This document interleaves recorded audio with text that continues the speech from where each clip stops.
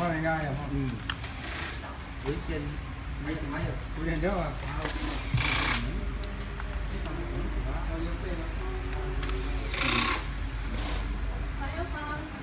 nào? Tôi không nghĩ lái nào, mà tất nhiên.